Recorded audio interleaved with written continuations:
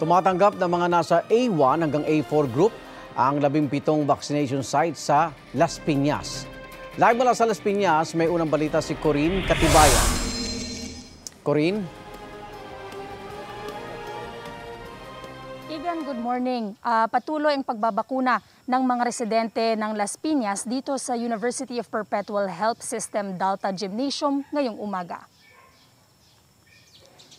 Ngayong lunes, labing pitong lugar sa Las Piñas ay mapupuntahan ng mga residente upang magpabakuna. Ang pwedeng mabakunahan sa mga lugar na ito ay ang mga residenteng A1 o healthcare workers, A2 o senior citizens, A3 o persons with comorbidities at A4 o essential workers.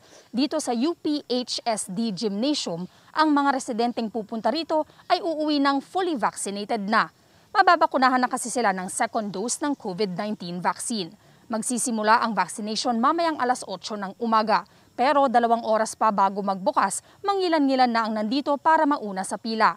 As of June 10, 82,234 na residente ng Las Piñas ay nakatanggap ng first dose ng vaccine, habang 30,518 naman ang fully vaccinated o nakatanggap na ng first and second dose ng vaccine. Narito ang pahayag ni Elizabeth Antonio, ang unang residenteng nakapila para sa kanyang second dose ng Pfizer vaccine. Para po kasi maiwasan na rin po yung matagal dun sa paghihintay.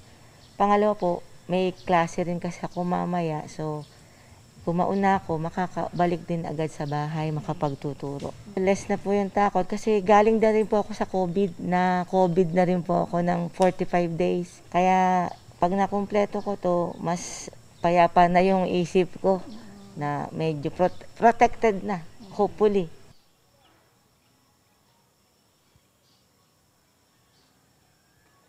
Igan ngayong alas 7 ng umaga magsaset up na dito para sa mga residenteng magpapabakuna ng kanilang second dose vaccine.